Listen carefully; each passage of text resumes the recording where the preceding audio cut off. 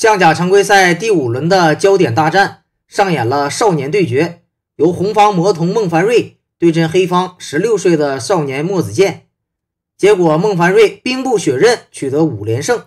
开局红方选择先指路，黑方对兵局，红方选择兵抵炮，黑方直接炮八平五，威胁红方中兵。红方选择上马，黑方马八进七之后，红方补象加强中路的防御。黑方很积极，选择马七进六，准备威胁中兵。红方继续补强，黑方直接踩掉，红方吃掉，黑方打过来。此时红方选择炮打卒，并不是为了贪恋对方的七卒，主要是为了上正马去抓对方的炮。此时黑方选择出车，红方上马登炮，黑方急炮五推二避让。此时红方选择正常出车，黑方直接炮二平六。准备将来上正马，再补士补象，构建一个坚固的阵型。此时红方选择强行上马，黑方按计划飞象抓炮抢先。红方实战选择的是退炮，此时呢也可以考虑走进炮，好处呢是将来有马五进三的点位。实战当中选择退炮，阵型更加结实，也是可行的下法。此时黑方呢选择上马，红方车一进二，将车抬起。黑方此时应该走车八进六，可能更为积极。小将随手走了一步车一平二，结果被孟凡瑞所利用，走一步车一平二，要求对车，非常巧妙。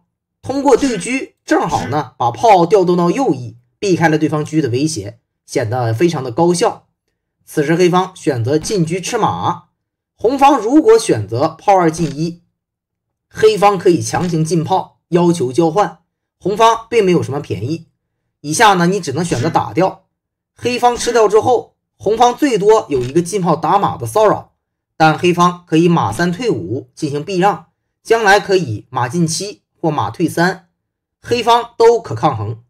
红方呢没有太大的便宜，所以实战当中，这里孟凡瑞构思了一个非常巧妙的、非常有诱惑力的好棋，马五进四。那么把马跳上去之后啊，黑方如果选择车二平六，那么红方呢强行跳马，将来呢威胁卧槽，也是红方占优。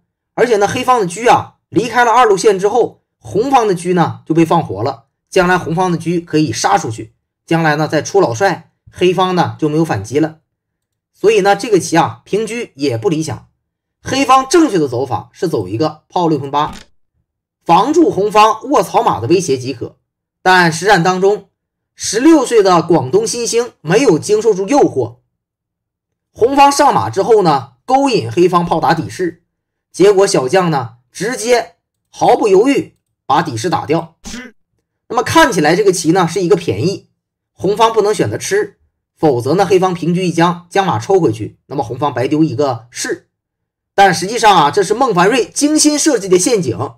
红方此时妙手进马，哎，黑方不敢打车，你打我的车呢，我卧槽，马炮呢就直接成杀，所以呢，黑方呢赶快回炮防守卧槽的点位。那么红方此时选择强行跳马，又是一步妙手。黑方此时不能选择吃兵，否则我打象就将要抽掉你的车。所以啊，为了避免打象，这里呢黑方扬一个高象，红方再出重击进炮打炮。黑方呢已经是非常的难受，那走到这里啊，这个炮怎么防？那么如果你选择平车给炮生根，那么老将呢可以安于位，但是啊还是刚才的问题，你的车走开了，红方的车呢也就活了。那么进车一抓，你这个马只能逃，我退车再去杀中卒，威胁你的中炮。如果你上马看住，我就吃卒压马；如果你退车去看马，我就兵七进一，随时呢。准备平兵拱炮，红方呢处于一个压倒性的优势，黑方这个棋啊已经不行了。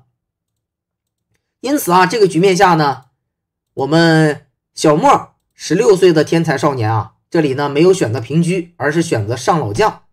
红方呢退马一将，那么退马一将啊很犀利，你不能选择下将。如果你下去，我炮打象一将，你只能上士，然后我炮二进一，正好呢就直接绝杀啊！这个棋非常巧妙。那现在你不能动老将，只能呢选择抬起来。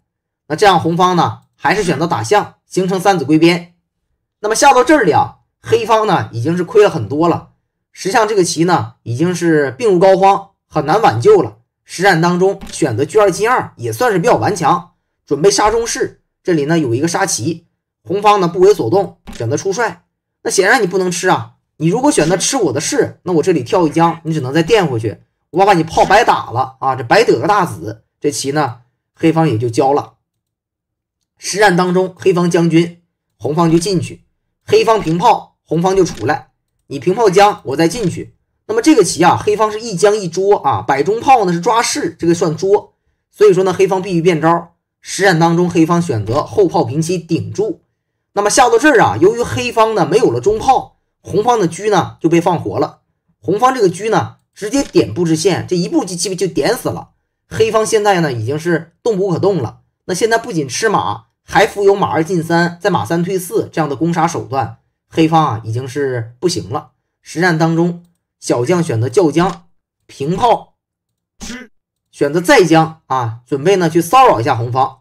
小将孟凡瑞。直接呢选择落象，可谓是啊一招毙命。